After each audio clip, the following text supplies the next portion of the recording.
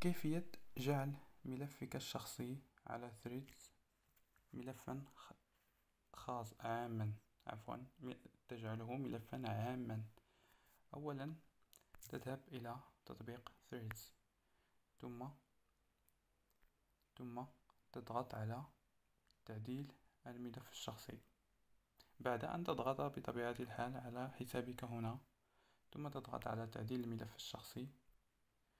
ثم هنا تجد ملف شخصي خاص. إن كانت مفعلة فيجب عليك إلغاء هذا التفعيل عبر هذه الأيقونة هنا.